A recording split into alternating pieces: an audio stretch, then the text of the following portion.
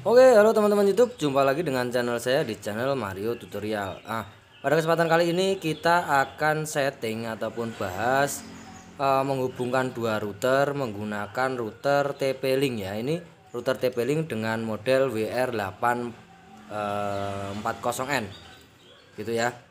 Uh, nah, di sini untuk uh, namanya itu TP-Link F440. Jadi kita harus sambungkan dulu untuk WiFi-nya dari router yang mau kita setting gitu. Nah untuk passwordnya biasanya tercantum di bawahnya. Itu ada passwordnya. Silahkan masukkan. Nah jika sudah uh, terhubung dengan routernya uh, itu langsung masukkan IP standar dari router TP-Link WR840 nya nah apakah bisa buat uh, untuk setting? Bisa. Untuk setting bisa tapi untuk internetan belum bisa ya. Karena sumber internetnya belum uh, ada yang masuk ke dalam router ini kita dibawa ketampilannya seperti ini. Nah untuk uh, password dan juga user bawaannya itu biasanya uh, pas uh, username-nya admin passwordnya juga admin begitu. Nah seperti ini. Jika sudah kita langsung login ya. Oke login tampilan utamanya seperti ini. Nah ini kita buang dulu aja untuk iklannya. Biar kelihatan ya. Kita uh, tunggu dulu. Kita buang dulu untuk scan QR kodenya di sini. Nah, oke. Okay. Nah, tampilan utamanya sebelum disetting biasanya seperti ini, quick uh, setting dan start gitu ya. Lalu kita next. Nah, untuk operation modenya kita wireless router ya karena kita menghubungkan dua router dan ini mau dikasih nama dan juga password sendiri. Lalu kita dibawa ketampilan seperti ini kita pilih dynamic IP setelah itu kita next lalu untuk konfirmasi oke okay, langsung jadi cepat banget ya cukup mudah. Nah di sini di next langsung oke. Okay. nah lalu kita masuk ke dalam wireless ataupun security modenya ya. Nah di sini wireless untuk namanya masih bawaan TP-Link nah di sini kita ganti untuk namanya silahkan buat teman-teman mau setting nama seperti apa silahkan jadi e, tinggal dihapus saja untuk kolong namanya. Setelah itu buat nama yang baru.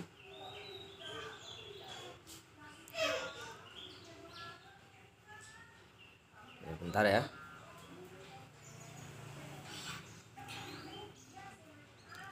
Nah seperti ini contohnya untuk namanya. Jika kita save otomatis kita untuk internetnya akan terputus ya karena untuk modem ini sudah berganti nama dari TP-Link menjadi Nisa yang tadi. Nah seperti ini sudah ada nama Nisanya kita klik lagi. Dan masukkan passwordnya itu karena passwordnya belum diganti ya. Passwordnya itu masih tertera di bawah uh, routernya untuk passwordnya. Silahkan masuk beberapa angka di bawah routernya. Itu ada passwordnya. Nah, itu situ masukkan passwordnya Oke jika sudah terhubung kita kembali ke pengaturan lagi. Kita ganti untuk passwordnya. Kalau tadi di wireless sekarang di wireless security. Ini wireless security ini adalah untuk mengganti password ya. Di sini untuk pengaturannya biar saja standar. Jadi kita hanya membuat nama dan juga passwordnya saja. Gitu ya. Di sini dikasih password contohnya 2021 1 2 3 4 gitu aja ya biar mudah. Nah seperti ini. Setelah itu kita oke okay, ataupun kita save gitu ya. Nah setelah di save lagi otomatis kita akan terputus kembali. Karena un, sudah berganti nama dan juga sudah berganti password begitu ya. Nah kita sambungkan dengan password yang baru lagi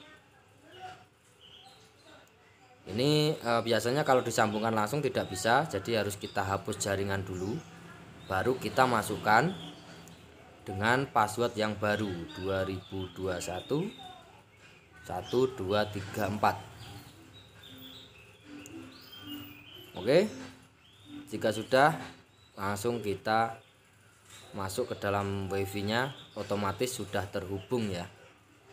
Nah ini untuk networknya masih dinamik untuk uh, eh, IP nya subnetnya masih kosong-kosong semuanya karena ini belum dihubungkan dengan router yang satunya jadi untuk settingan Nah, oke. Jadi untuk settingannya cukup mudah ya, cukup begitu saja. Setelah selesai diganti nama uh, dan juga password. Nah, untuk uh, apa itu uh, nama dan juga password sudah selesai. Jadi tinggal masukin ataupun colokan kabelan dari router yang satunya menuju ke router TP-Linknya melalui LAN ya, melalui LAN. Melalui LAN tapi untuk oh, di situ beberapa LAN ada empat tapi pilih yang one gitu ya. Jadi oh, dari router satu ke router yang TP-Link yang ini itu menggunakan one begitu oke? Cukup jelas cukup paham. Di sini eh, terima kasih buat teman-teman yang sudah support. Jangan lupa subscribe dan nantikan video-video selanjutnya jika ada pertanyaan silahkan tulis di kolom komentar. Dan juga jika ada request mungkin nanti saya buatkan requestnya jika bisa. Kalau belum bisa bisa ditunda lain waktu. Oke terima kasih. Sampai jumpa, semoga bermanfaat.